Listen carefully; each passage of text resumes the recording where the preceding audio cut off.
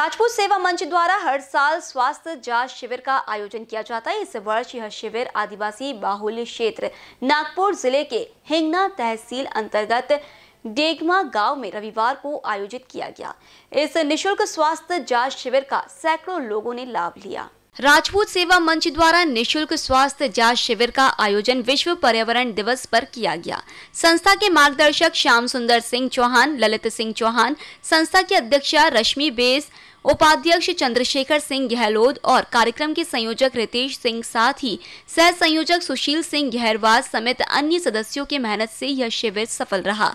तकरीबन 400 आदिवासी बाहुल्य क्षेत्र के गाँव वासियों ने इस स्वास्थ्य जाँच शिविर का लाभ लिया। कुल इकहत्तर बुजुर्गो को चश्मे का वितरण किया गया। डॉक्टर केकाड़े डॉक्टर खतवार, पशु वैद्यकीय विभाग से डॉक्टर शीतल के नेतृत्व में डॉक्टर तनुश्री आशिया की टीम ने दवाइयों का वितरण किया। साथ ही रश्मि बेस और नीता सिंह ने गाँव में घर घर जाकर महिलाओं को सैनिटरी नैपकिन्स का वितरण किया। इस शिविर का उद्घाटन गाँव के उप सरपंच महेंद्र गोरामन द्वारा किया गया। ऐसी जानकारी राजपूत सेवा मंच नागपुर के महासचिव नितिन सिंह गौतम ने दी।